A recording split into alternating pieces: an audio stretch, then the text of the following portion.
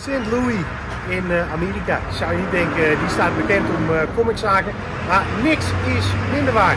Ik heb de eigenaar een paar maanden geleden, vorig jaar, heb ik die ontmoet. Het verhaal komt zo. Maar we gaan nu naar de comiczaak met de meest moeilijk uitsprekende naam. Apotheosis Comics en Lounge. En die lounge is namelijk gek.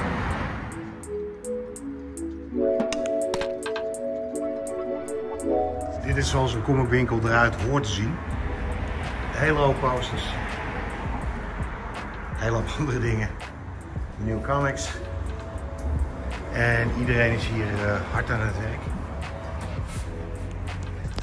Hi Martin.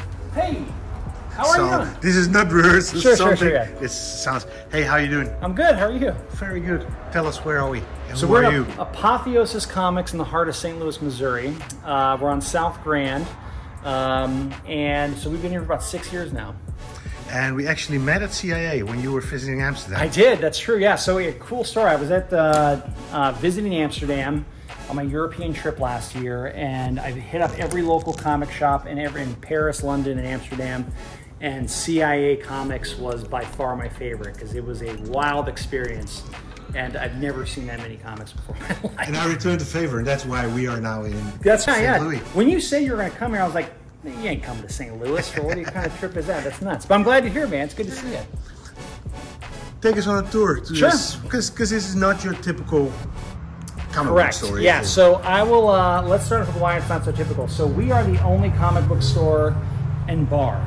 So we also have a. Uh, uh, are waiting for shipment of uh, drinks this afternoon, so don't judge us by our, our levels there. But so we're a, we're a comic book store bar that specializes in doing a variety of canned cocktails, beers, C, uh, THC, CBD seltzers, non-alcoholic drinks.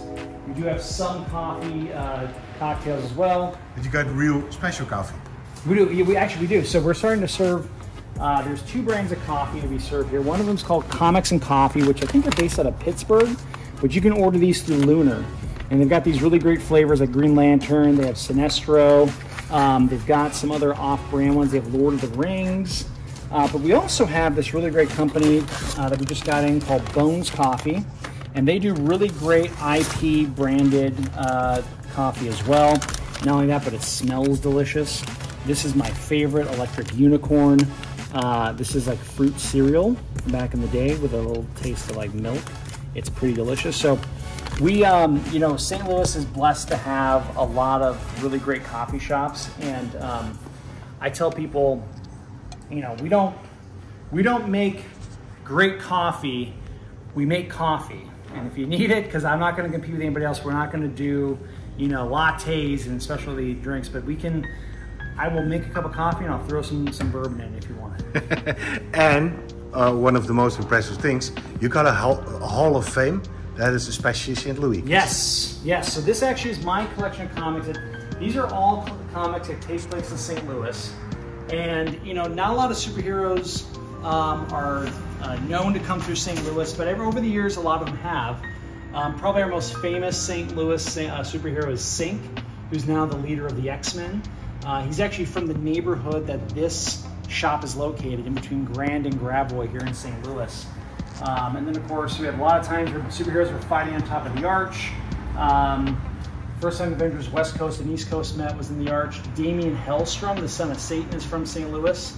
Jim Lee went to high school here for two years, and so he uh, dedicated two books. Deathmate Black, which is the first appearance of Gen 13, takes place in St. Louis. His series Divine Right also takes place in St. Louis. More recently, Firepower by Robert Kirkman and Chris Samnee take place in St. Louis. Um, Manifest Destiny, a great story about Lewis and Clark. Uh, one that's actually one of our best-selling books, um, and it ends in St. Louis, but all the stories are about these arches that are actually portals to other dimensions. So, uh, unfortunately, in 1973, Santa Claus was murdered in St. Louis. The Justice League solved the crime, so uh, problem solved. St. Louis is St. Louis, St. Louis, you, you are pronouncing it the, the correct way, St. Louis. Saint Louis. Well, that's even more, yeah, but you're pronouncing it the right way. As an American, we pronounce it St. Louis. We have a lot of, this was a, a French uh, colony back in, uh, when it was first founded, so a lot of our streets are all French names, uh, but they've all been bastardized to American terms. Um, One of your uh, famous landmark is the Ark. Yes, yeah. Well, the arc. The, so uh, this is actually our this is our stage. So we do a lot of uh, um, we do a lot of like we do a comedy show on Saturday. We have a music concert tonight. We'll do other performances and speaking things. So this is our. Um, if you stand on the stage, you're on a comic book. Like so this is framed as you're on the front page of Apotheosis Comics, um, and that's our obviously our logo there. But you know the arch is what our people are known uh, what people know St. Louis for, but the original logo was actually this guy up here, which is called the Apotheosis of St. Louis, and that was given to us by King Louis the, the one right before he got his head cut off. And he gave us this giant statue, which is in front of the St. Louis Art Museum, which I hope you go see while you're here. And uh, that was given to us because the French king said that St. Louis was going to become the apotheosis of American cities, the greatest city um, in America, in the world. So um, we took our name from that statue, the apotheosis, because apotheosis is double meaning. So in Joseph Campbell's uh, heroic journey, the apotheosis is right in the middle. So it's actually in the, in the arch there, not there. And um, apotheosis is the point in a hero's journey where they have to overcome a great challenge to become a hero, or they have to decide to return and go back. So it's the it's the origin story of a superhero. And so we thought it was really it was a perfect uh, perfect meaning. Not only does it mean it's going to become the greatest, but also it's, it's a, a, part of the heroic journey. So uh, for a comic book store in St. Louis, I thought that was the perfect uh, fit. And you also uh, incorporated the arch into something oh, completely yeah. different. Yes.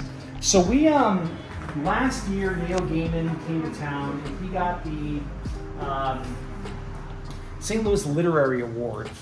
And so I spent about three days with them um, doing stuff around the city and then culminating me interviewing him on the last day. But it started with him. So he spent three hours autographing 2,500 books. And at the end of it, I asked if he would just do a quick sketch of an arch. Uh, and he did. So he drew the first one here. And Neil Gaiman drew, so he put in the elephant there to uh, show the scale of the arch. And then, uh, you know, from there we had Matt Kindt um, did an arch sketch. We had David Pepose did the Spider-Man, uh, Brian Hurtt.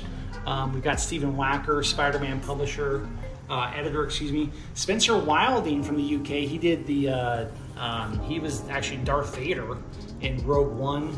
Robert Venditti, Ben Sawyer. Ben Sawyer is actually in Amsterdam right now doing a, uh, a study. The great Gene Ha from Chicago. Um, we've got Kenny Porter. Um, we got Jim Ousley, who's a local guy nominated for uh, an Eisner for his book, The Atonement Bell. Steve Orlando. Uh, Russell Mark Olson, who is a, lives in the UK and uh, uh, did, did, a book called Gateway City. And then some of our great locals, Dan Zettwoch, Amanda Doyle, and then uh, that's Brian Posehn, the bomber who wrote uh, Deadpool, but also as a comedian. We've also got we got two books, two arches um, uh, waiting to come in. One of them is from Derek Kirk Kim, who did the really great uh, Last Mermaid story last month. And last night, Daniel Warren Johnson, he's going to be submitting one as well.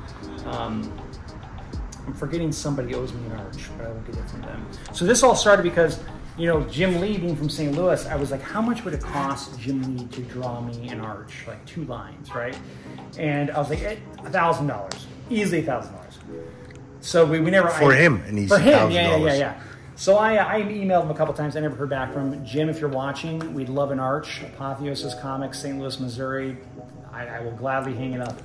Um, so uh, that's how it all started. And so now it's kind of a fun tradition. Like whenever you come visit the store, you draw an arch and it goes in the wall. Guys, uh, floppy or uh, trade paperback store? We're both. We're both. We're trying to make. We're trying to. We may be making the hard decision to go one way or the other based on sales, but we'll see how it goes. Mean, we really tried when we first opened to do trade paperbacks mostly because that's where the industry was going, and it's certainly where our sales are. But people love single issue comics and we've been able to figure out a good program in order to get people um, to buy single issue comics. And so what we do is that If you buy first issue and you like it, um, you want to wait for the trade, you can trade in the first issue and we'll give you the cover price off of the trade paperback. Um, so it's a good way to get people to kind of invest in um, uh, trades. Um, so, and when you come to the store, like one thing, like the, the, queer community is very big here in St. Louis, so we make sure that we give them, there's a spot right in the front. We try our damnedest to keep this thing stocked, but it's so, we keep running out of books, so we're always getting new and more queer comics in. Um, and it's, uh, it's pretty great. It's really, uh, it, it is so great to see the amount of representation in comics these days, how much it's growing, so it's very uh, good to see. This actually right next to it, I put, I'm a old school Superman fan, so this is a post from the 1950s. Um, and I like to keep this up here because, you know, I think there's a lot of people who try to pigeonhole certain superheroes into their ideology, and it's very hard or very, it's easy to remember if you're a comic book fan that like, comic books were created by poor Jews in Cleveland and poor Italians in New York who were just drawing the world around them and they wanted a better world. So like the Superman, for the first couple villains he fought was like a landlord, a crime boss, a governor who's going to kill, uh, put a guy to death, um, uh, you know, for a crime he didn't commit, uh, a wife beater, like they drew the world around them, and that world was like crying for change. So a lot of these superheroes were reflections of social change that, that they wanted someone to represent and who would be the best of them. Really so cool. I have that up here because you know my career in politics before I got here is that's something I really want people to uh, understand about characters. Um, this is a poorly painted shelf that I painted. I need to redo it when I have time. Uh, this is kind of some new releases.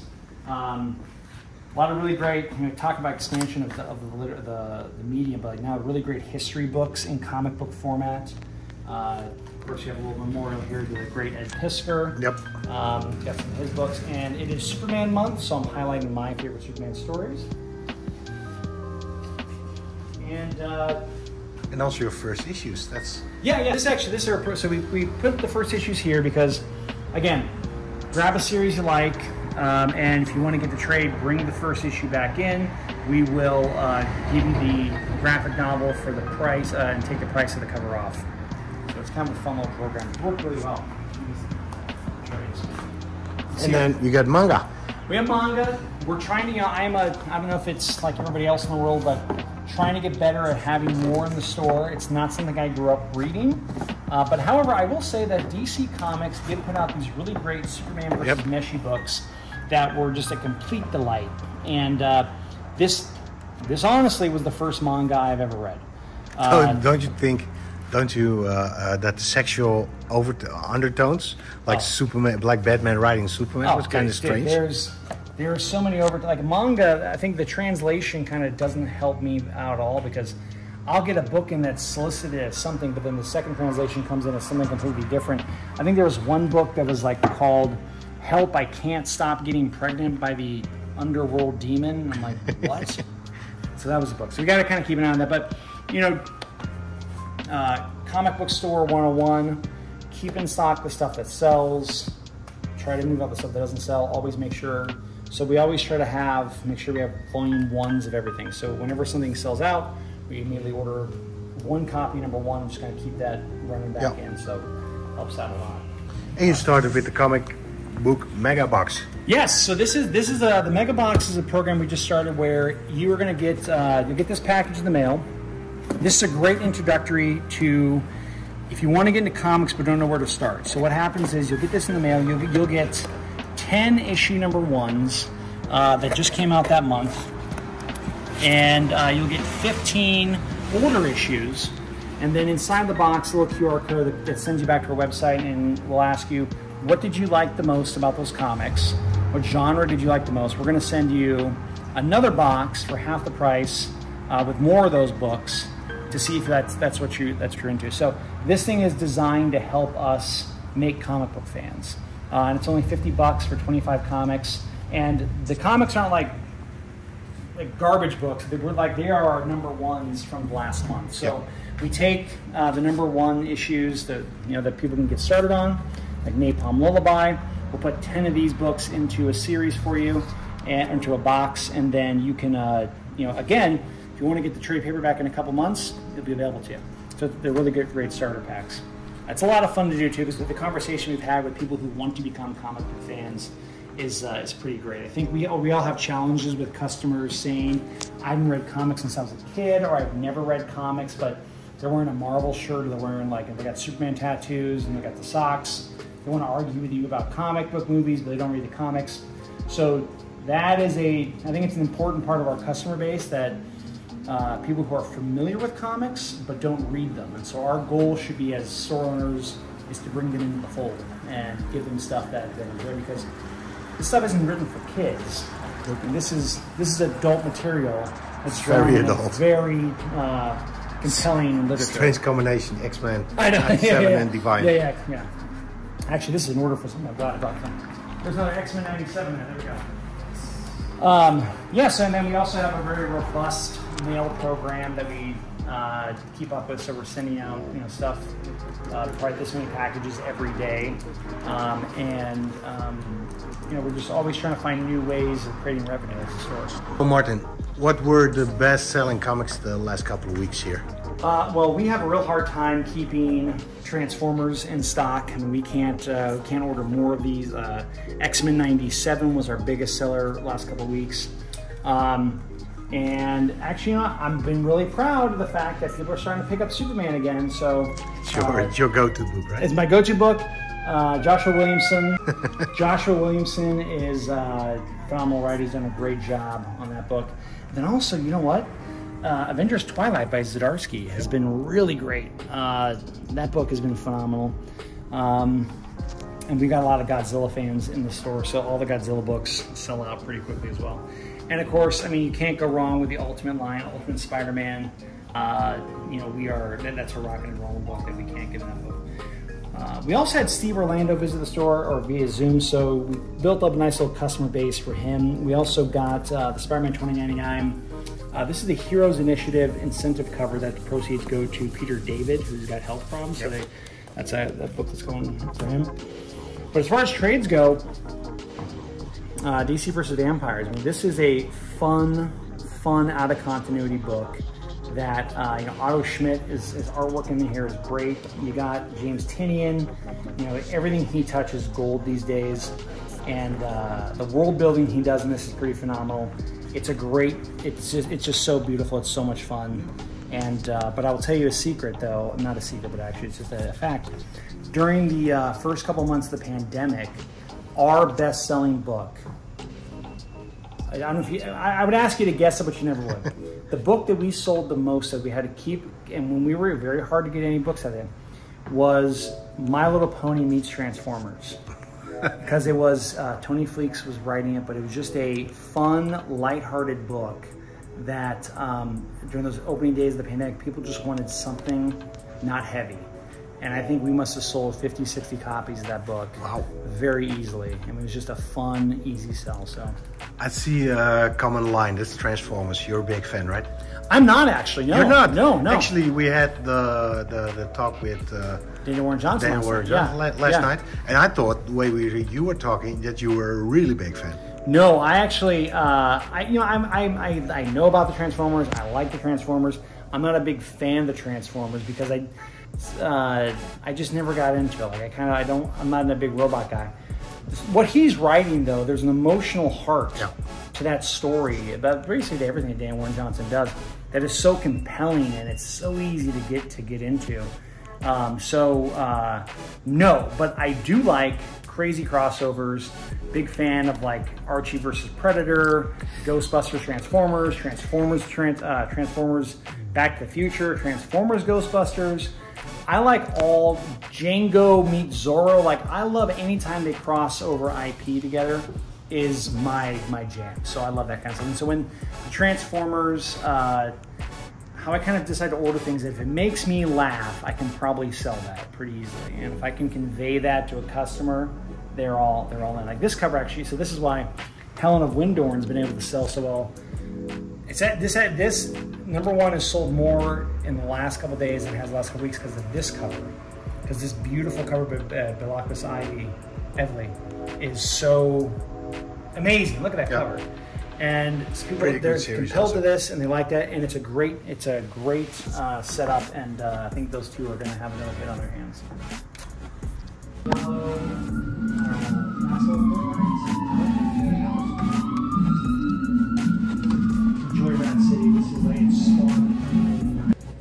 So every third Thursday of the month, we have the Comic Book Book Club, which is you know we select a graphic novel. Everyone, um, all the members of the book club get 20% off when they buy it, and then uh, we invite the writer or the artist to uh, join us, and then the book club members will um, ask questions, talk about the book, uh, tell them what they love the best uh, best about it. And what's really great about it is that comic book creators are so open and accommodating that via Zoom or at your store, it's as simple as going on Instagram and asking them. And I've never, every comic creator I've ever reached out to, I've gotten a response from them. They're all happy to do it. And we've gotten some really awesome guests over the last couple years. And so this last Thursday we did uh, Daniel Warren Johnson, and we talked about his uh, all of his work. Actually, we were so fans. We're so uh, we're such big fans of his. We've done read Do a Power Bomb. We've done Murder Falcon. Course, his Superman short story he did, and Transformers being such a huge seller here in the store. So we um, uh, he was amazing, and and all the creators are amazing because they're, they're so honored that, or they're not honored, but they're appreciative that we're talking about their work and we're taking it seriously. And uh, it's just a really fun thing we can offer to our customers is them that connection to, to the creators. to like making new worlds from scratch is oh it's insanely difficult because I could like just fake my way through I don't know like a fantasy or sci-fi book with maybe like a bit of a half-baked idea? Because honestly you see that in comics all the time. You see it in genre fiction all the time. Novels movies TV shows whatever like it's like a little bit of um like a drama with like uh, like a, a thin veneer of like fantasy over it, you know, or, or something like that, where it's like things can kind of get swapped out. Instead of pouring a heart and soul and finding a new way into something that's been done so many times over, like science fiction. My goodness, you know, think about how many amazing sci-fi stories we've all experienced in our lives, and they're trying to come up with something new to say and a new way to show that thing. It's definitely possible. Uh, but it takes a real pushing against the, the grain that is known now. So uh, that is a really difficult thing. And, you know, like with Murder Falcon, I basically had to come up with the character designs and then put them in the real world. It takes place, you know, like they fight outside of a Starbucks. What is the outside of a Starbucks look like? Well, I got Google Images, no problem. and working on stuff like, um, like the fantasy era of the fantasy uh, part of Dual Bomb, where they go into the different dimension to Necroton's castle. Designing that whole like area, like well, I don't know what the frick I'm doing. Like I haven't really done the concept art for it because I haven't had time. And what ends up happening is like you realize you're like creating these new worlds from scratch is just so much work, and it gives me a much deeper respect for uh, people that are able to do that well and do it quickly. Thanks for coming. Come visit us here in St. Louis, Missouri at Apotheosis Comics and Lounge. First beer is on me. And also een bonus, whatever, just wash your hands. Zo, te gekke wc. Is het te gekke wc? Ja. Als je dit in je, is het een te gekke wc.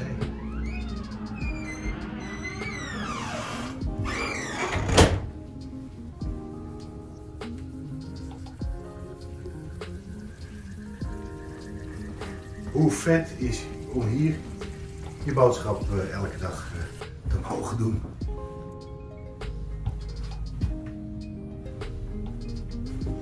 En nog even deze.